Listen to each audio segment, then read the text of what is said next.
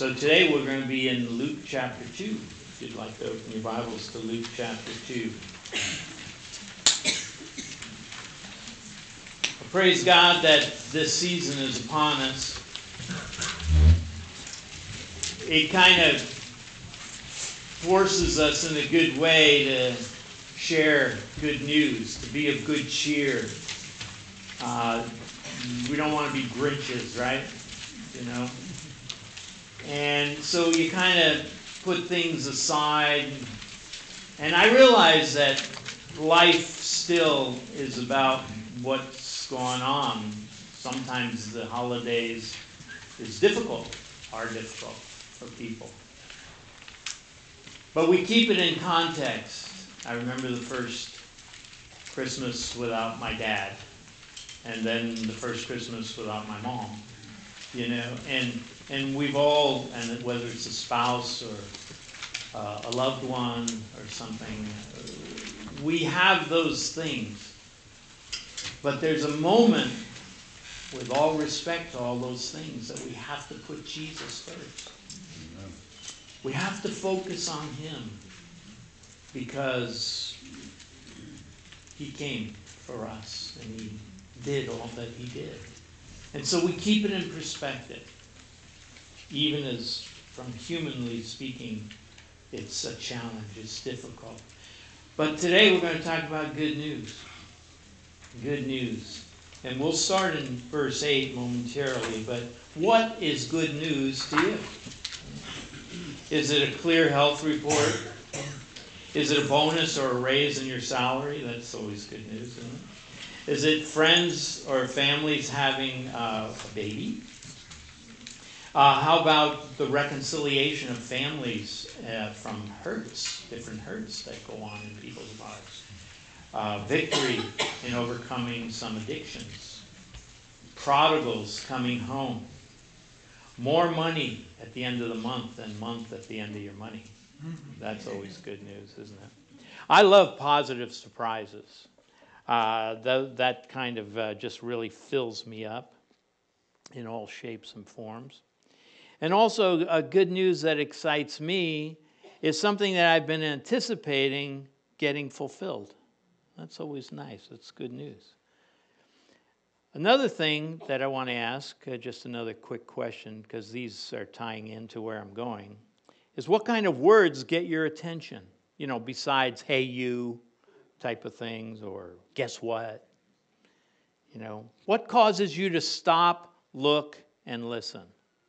Maybe the word danger, fire. How about it's free? That's always a good one. It's free. You know, my thought on this one is that people respond quickly to the sound of their own name. You know, we love to hear our name. Uh, why do we love to hear our name? Because it's worth, it gives us worth when someone says our name. And in today's portion of Scripture, we're going to touch on what God thought was good news. And the word that his messenger used to cause people to stop, look, and listen. So I'll give it to you in a nugget. The good news is Savior. And the word is behold. Behold. So let's uh, look at these verses uh, Luke 2 8 through 14. Jesus, uh, guide us. May uh, you illuminate us even as we hear your word. Let it be written in our hearts that we might be living letters of yours. And give us uh, uh, just what we need today to hear for your good and your glory. In Jesus' name, amen. Well, beginning at verse 8, now I'm going to be working these verses uh, through the next couple of weeks, so that's why I'm jumping right into the middle here with verse 8. In the same region, there were some shepherds staying out in the fields and keeping watch over their flock. And the angel of the Lord suddenly stood around them, and the glory of the Lord shone around them, and they were terribly frightened.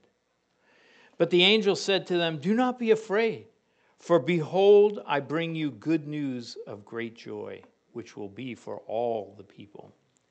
For today in the city of David there has been born for you a Savior, who is Christ the Lord. This will be a sign for you. You will find a baby wrapped in cloths and lying in a manger.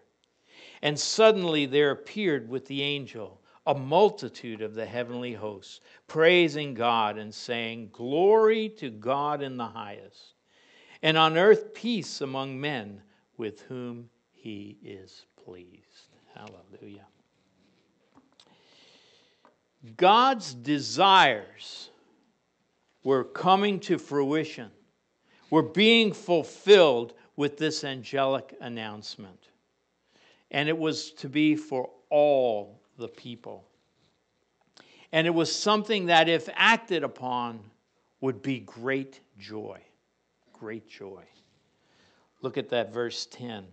Behold, I bring you good news of great joy, which shall be for all the people. Now, it's not that God is shouting here through probably Gabriel, but the Holy Spirit used the word behold 1,281 times throughout the Bible. You know that?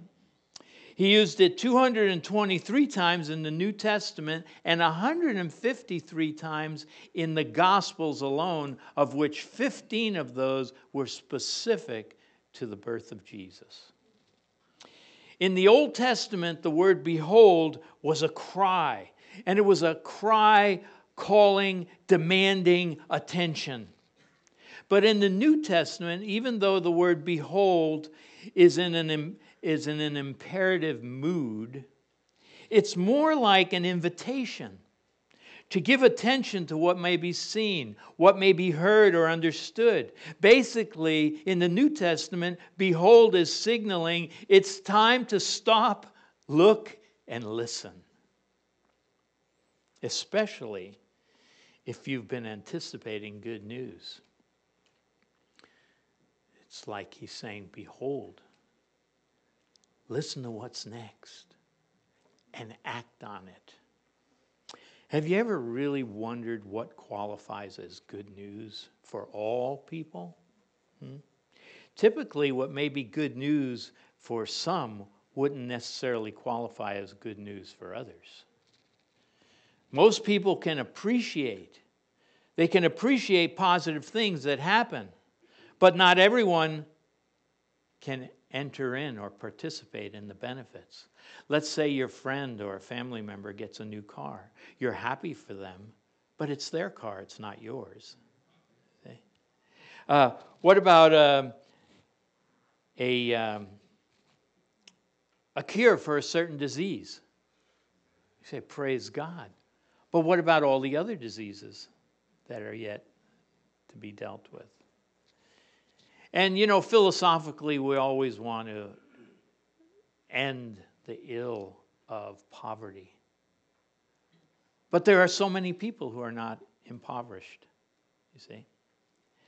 So, is it possible that there really can be good news that applies to all people equally, where all participate regardless of race or sex or age or income level or location or culture?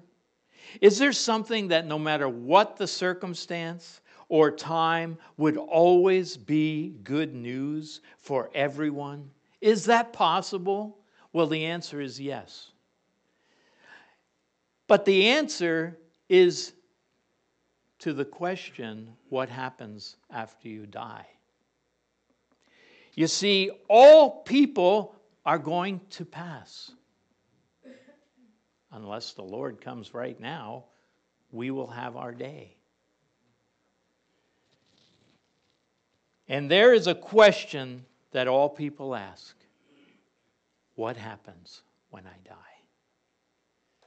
It's good news for everyone to know that their eternal state of being can be secure that it can be everlasting, that it can be in joy and peace and enveloped by love. See, that's good news. So, no matter what, where, or who, there's good news that when you die, you can be with God. You see? That's good news for everyone. Now, the angel's announcement here, we're, we're going to take a few of the pieces of uh, this portion of Scripture, and then we'll go back and do the storyline of the Scripture. The first word that we have to deal with here in verse 11 is the word you. There has been born for you. Was he just talk, was the angel just talking to the uh, shepherds? Was he just talking to Israel? Or was it greater than that? Now, how do we clarify who he's talking to? You have to go back to verse 10. You go back to verse 10 and you see the words for all the people. The word people here is a special word. It's the word laos, as opposed to the word ethnos. With the word ethnos, we get ethnicity, we get nations, people groups, but he uses the word, uh, you know, the Holy Spirit uses the word laos here. And that means people at large. In other words, it's all who are uh, joined in a common bond of society. It's people in general. In other words, it's all people. You know why? Because all means all. so this was not just for the shepherds, it wasn't just for Israel, it was for all people. Understand that God is the God of all people. The gospel of God is that God is for all people. Okay? He's for all people. So, what then is good news for all people everywhere all the time? In all, I, does anyone not have an A in front of Savior in your Bible? Because in the original language, the A is not there. It's not a Savior is born, it's Savior is born.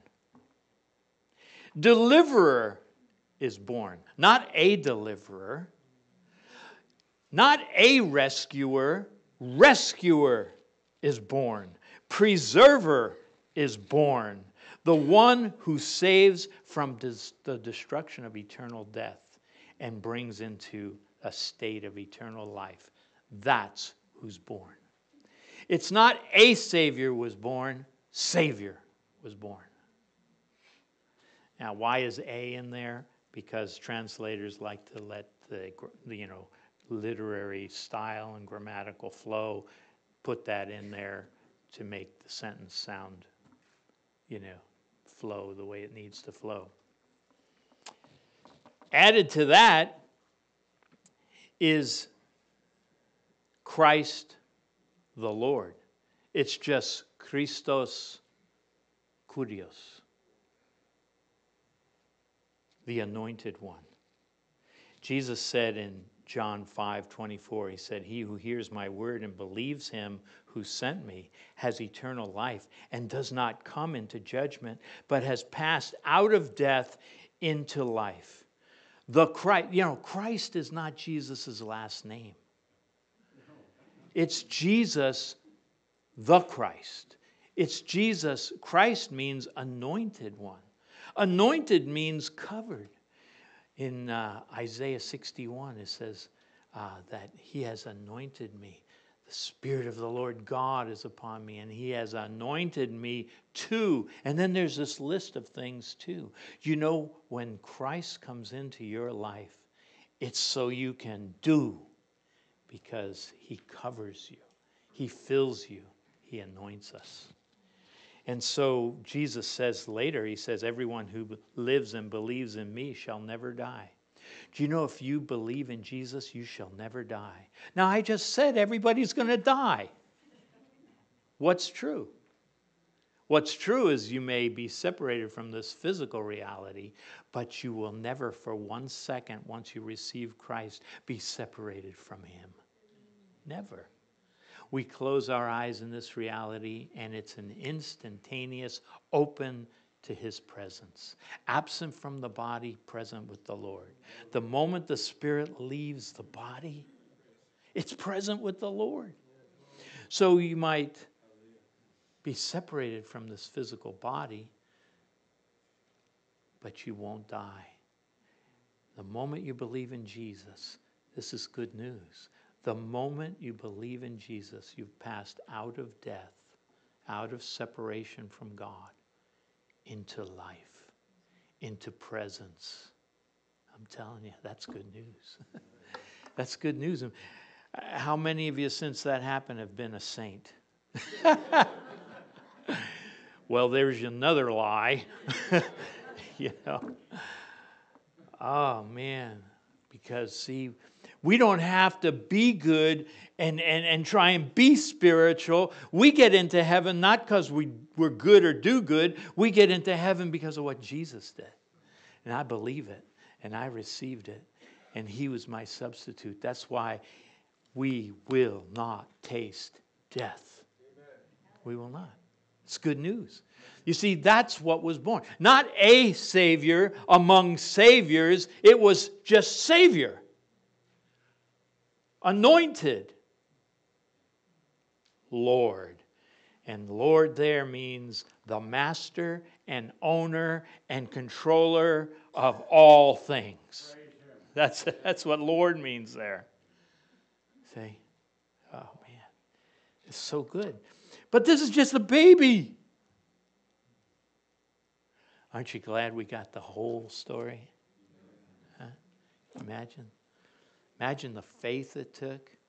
But these guys, you'll see, these shepherds, when they heard what they expected, they were expecting this. And the reason I can tell you that is because in that culture during uh, uh, Jesus' birth, during that time, there was both uh, the Jewish or Judaism was going on, but also the Greek mindset, was called Hellenism, was going on. And what happened is people, uh, believers, Greek believers, took the Old Testament, the Jewish scriptures, and they translated it into Greek. It's called the Septuagint. And in translating it into Greek, they took the word Lord from the Old Testament, the word that the Hebrews used for Yahweh, for the most holy, present God and they made the word kurios. That's this word here. What does that say? That says that it didn't matter if you were a Jew or a Greek, a Gentile or a Greek uh, or a Jew. You were anticipating God. You were anticipating. So the shepherds uh, or, and the people they talked to and spread the word, they all knew this good news is Savior. See, it's great. It's great. There's so much here. There's so much to un- unpack, but I, I don't want to make this a, you know, a Sunday school s- class. But there's so much to unpack here, and uh, we'll, we'll keep going. Uh, let's actually, let's go now back to verse 8. So you got those two nuggets, behold and good news, right? And uh, now let's put it into the storyline. Back to verse 8. And in the same region, there were some shepherds staying out in the fields and keeping watch over their flock by night. You know how much how, how many volumes are written about this verse as to when the shepherds were out there? yeah, night is a common time. But it's interesting that men have written volumes about what the Spirit of God has simply chosen to emphasize that shepherds were keeping watch over their flocks at night. Now, look, Israel has two seasons they have winter and summer. And the, the winter months are somewhere between mid uh, October, early November, to uh, mid March. That's the co- colder, uh, rainy season. And then the rest of the year is what they call their summer. It's warmer and drier. Now, the rabbis wrote that those, especially these particular sheep that these shepherds were watching, they were most likely the sheep that would be used in the temple sacrifices. And these shepherds were special shepherds. They probably were shepherd priests. In other words, that they were part of a priestly uh, service. And I'll get into uh, their situation here in a minute. But I chose uh, the dates that this probably happened somewhere between mid September and mid October.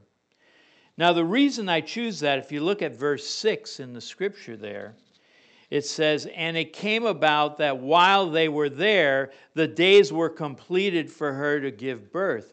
Now, I'm, you know, we're going to see Christmas plays and, and all that, and, and what happens on the same night. Mary has Jesus, the shepherds come walking in, the kings come, magi come, everybody comes that night. Didn't happen that way. Uh, you know, it's like there's no Santa Claus. Oh, you know, don't say that. okay, the, so here's okay. I'm going to give you a Louism. All right. I think that Jesus was born somewhere around the Feast of Tabernacles. That's weird, huh? The reason that it's December 25th is that's winter solstice. And that's the end of the longest night.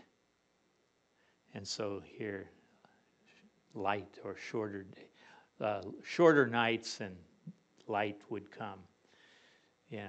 Back in those days, uh, Christianity wanted to try and blend as much with paganism as possible. So, kind of uh, adopted some of the pagan feast days or you know various days, kind of like All Saints Day, Halloween. Halloween was one of those things.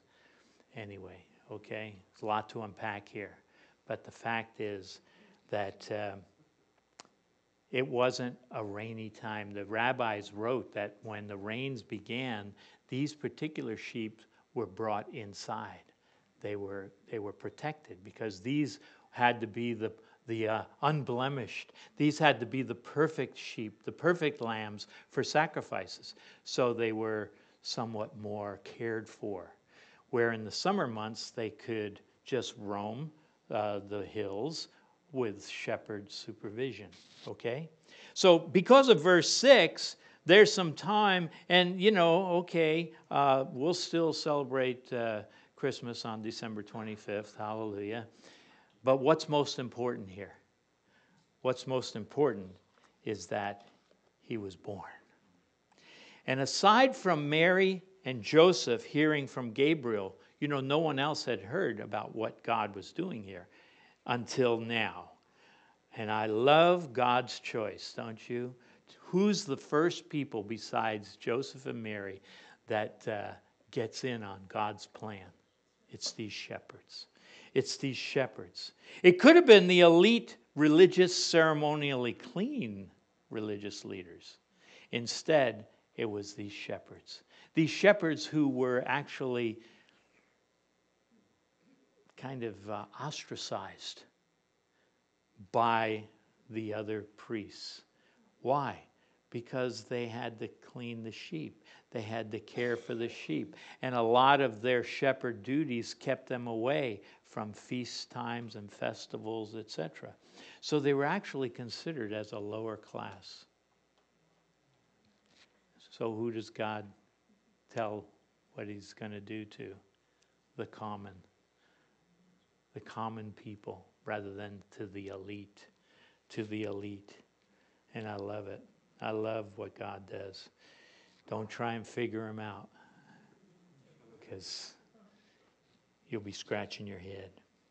Verse 9 And the angel of the Lord, like I said, it was probably Gabriel, suddenly stood before them, and the glory of the Lord shone around them. The glory of the Lord showed around them. Last week, remember, I talked about Shekinah. When I said Shekinah, I saw a lot of blank looks. Shekinah, what is that? Remember? That's the glory of the Lord. That's the manifest presence of the Lord. That's divine radiance. That's what, that's what they saw up on the Mount of Transfiguration. And this is the same idea. Look, in Revelation chapter 18, verse 1, there was an angel, a glorious angel that came down, and his glory illuminated the earth. But that the, the key is it was his glory. Angels have glory. I mean, if an angel showed up right now, we'd be, all be on our faces. Want to try it? But this is the glory of the Lord. This is the glory of the Lord shining around them, enveloping them like a Shekinah presence of glory. It's a physical manifestation of the divine radiance. And what happened? They were terribly afraid. You tremble when you're in the presence of God. It's okay. He's holy God. We're not. It's okay because he's so gentle. Terribly afraid is megaphobos. Megaphobia. Big phobia. You know, little phobia, big phobia, you know. when we lived in New York, I remember growing up as when, when I was a kid, we had this cellar. They don't have cellars in uh, in California, you know. And uh, when we moved out here, I wondered where the, where's the cellar, you know. But anyway, we had this cellar, and and before you turn the light on, it was really always dark down you got to go down. you know, start experiencing the megaphobia, you know, going down into the dark. Some people won't take the trash out at night because they have megaphobia, afraid of the dark. Hey, they had megaphobia. It was terror. They were terrified. That's what this, these words bring out. And we saw that happen on the Mount of Transfiguration. But what they saw was terrifying Gabriel was announcing in a celebratory way. He was ready to celebrate. They're shaking in their boots. What's up with that? Verse 10 And the angel said to them, Do not be afraid, for behold, I bring you good news. Do not be afraid, for behold, I bring you the gospel. That's what this word is. Two words, good news, is the word gospel euangeliozomai, something like that. Evangel, evangelize. I bring you the evangel. I bring you the gospel. I bring you good news. I bring you good words. I bring you glad tidings, good tidings from God of great joy, of great joy. They're in megaphobia. He's saying you have great joy. It's, a, it's mega chara. Megaphobos, Megachara. What a contrast. They're, they're afraid, and he's saying, to the extent of the fear you have, I can give you great joy if you would receive this message. That shall be for all people. As I said earlier, what are all people terrified of? They're terrified to die. People are afraid to die. But when Jesus died on the cross for us, he took the sting, the fear of death away. I don't know, do you remember falling asleep last night? Maybe some of you have insomnia and you can't fall asleep. The cure to that is get one of my CDs. You'll be asleep in no time. See, the fear here, you guys, in the right sense of this phrase, is spiritual ignorance. Not knowing the glory, the spiritual riches that God has for you. See? The only thing I fear about death, I've said it before, is how it happens. I hope I don't hurt, you know? Take me in my sleep, Lord, when I wake up. There you are, you know, type of thing. But I don't fear it because for the believer, death is uh, characterized as sleep, falling asleep. Falling asleep. Amazing. So, uh, they're afraid. He's saying, I can give you mega charis, mega joy. I'll give you great joy. Why? Verse 11 For today in the city of David, that's Bethlehem, there was born for you not a Savior, Savior. Okay? Savior, who is Christ the Lord. The gospel of God, as I said, is for all human beings. Now, initially, he came to the Jews, didn't he? In John 1 11 through 13, it says, He came to his own, but his own did not receive them. But as many as received him, to them who believed, he gave the right or the authority to become children of God. Children not born of blood, nor of a human decision, nor of a husband's will. Maybe they were a little chauvinistic in those days, but born of God. See? Well, why did he come to his own first? Well, that's the way God wrote it. He wrote it that he would come, that salvation, that, this, that Savior would come from the Jews. That's okay. But it wasn't just about the Jews. By the way, when were the Jews first called Israel?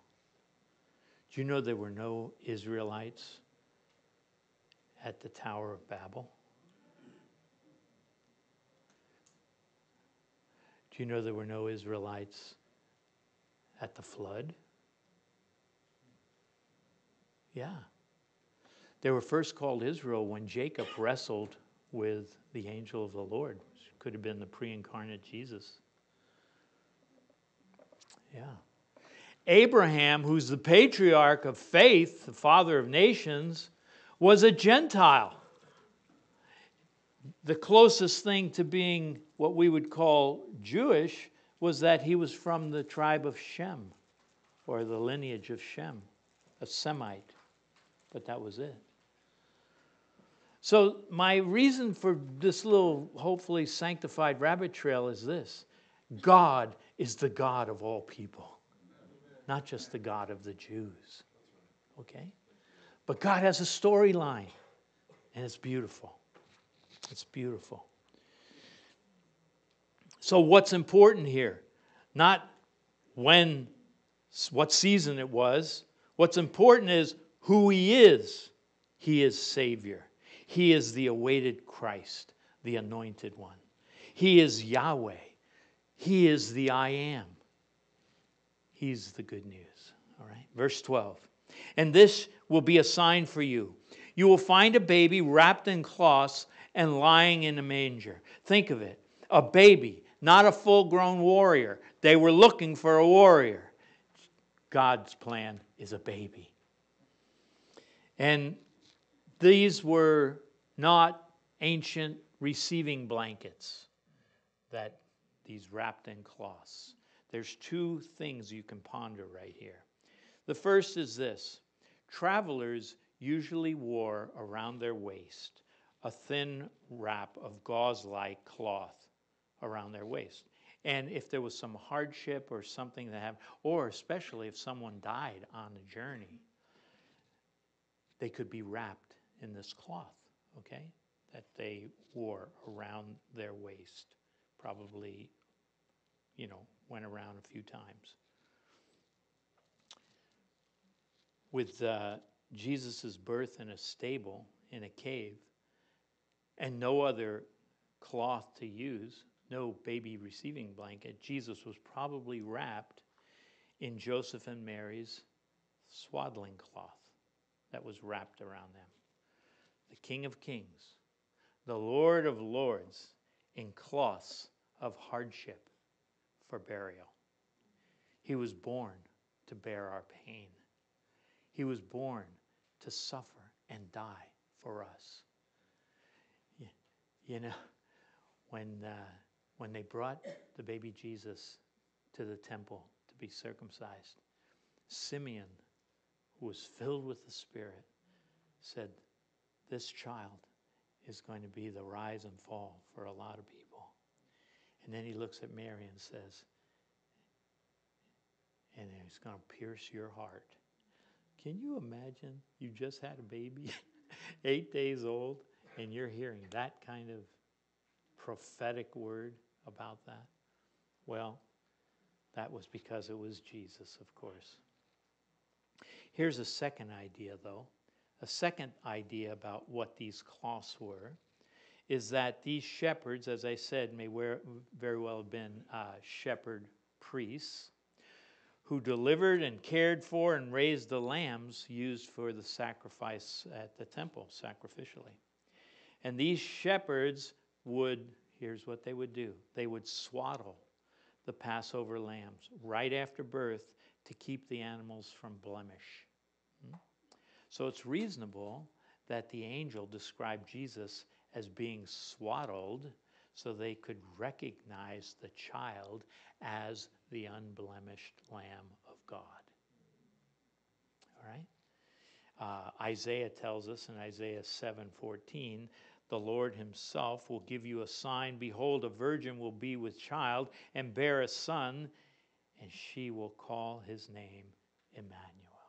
Hmm? So, in either case, the wraps of cloths regardless of which we think, were humble. They were humble, it was ordinary, and it was recognized by the common man. And another signpost for them would be this that he'd be lying in a manger.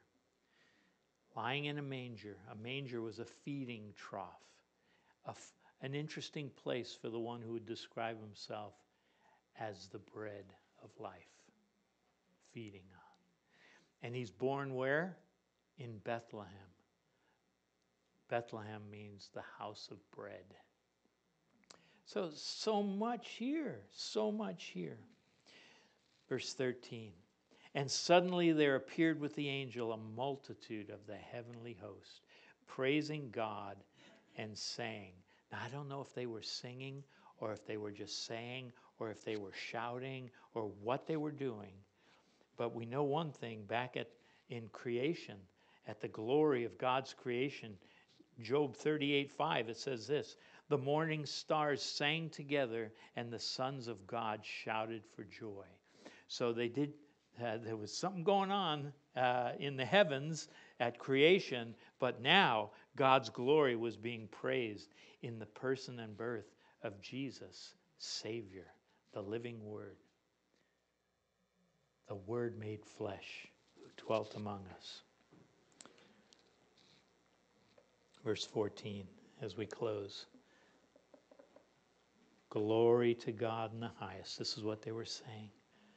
You know, there's no sound too great, nor a height too high when it comes to praising. Modest praise is not praise. I remember the days when I was part of the frozen chosen. this is how we praised God. And then as I began to thaw out, I did, because not everybody could see this.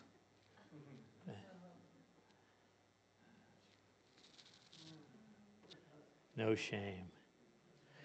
Matter of fact, if you need a visual, you know when uh, your parents say, go wash your hands, and then they say, let me see it? Lord, look. No, clean. I got clean hands, Lord, because you made them clean. Oh, listen, one more.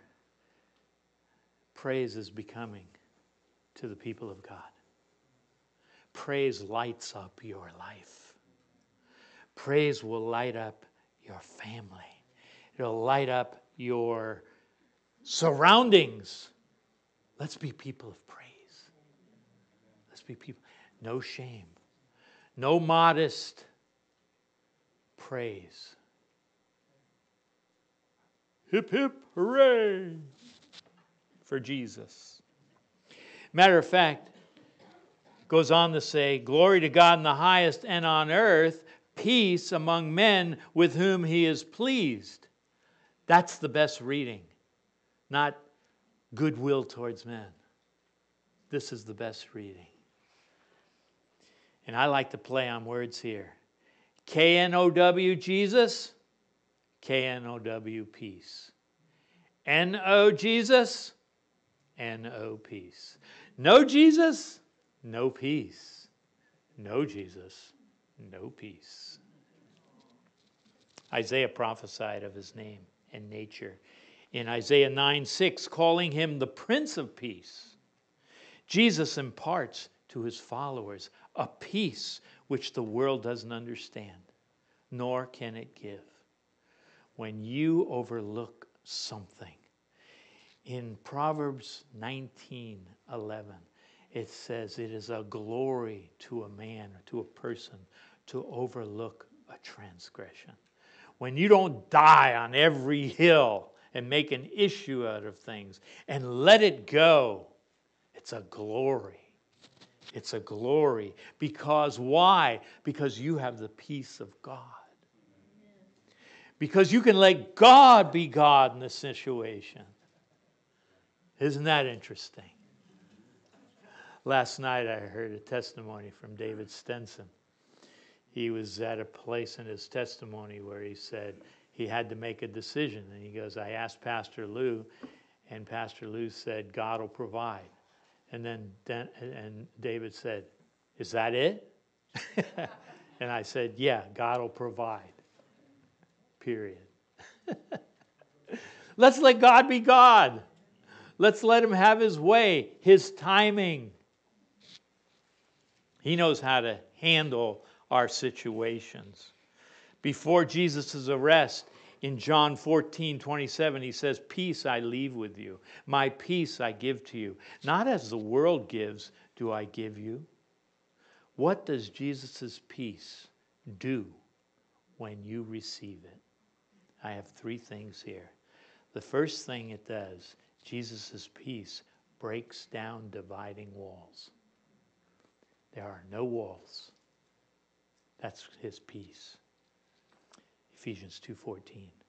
The second thing that that Jesus' peace does is it puts an end to anxiety. Hallelujah. That's good news, huh? It puts an end to anxiety. You want me to sing for you? Why worry when you can pray? Trust Jesus, He is the way. Don't be a doubting Thomas. Trust fully in His promise. Worry, worry, worry when you can pray.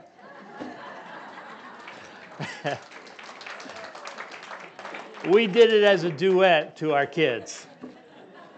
we have another one too. Cheer up, ye saints of God, you know there's nothing to worry about. I'll give you that another day. First, Jesus' peace breaks down walls. Secondly, it puts an end to anxiety. Philippians 4 7. It guards our hearts and our minds in Christ Jesus.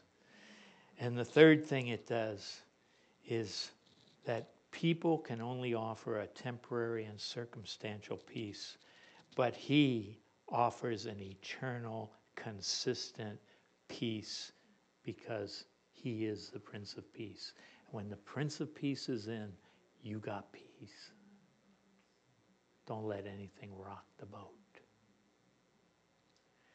His peace makes us praising people. His peace makes us pleasing people. He's your Yahweh Shalom. He is God of peace. When you receive Christ as Savior, you have made peace with God.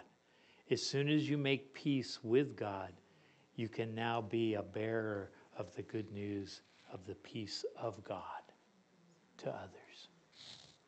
And that's my prayer for you. That's our prayer together. Let's be bearers of good news. Good news to whom? To all people. To all people.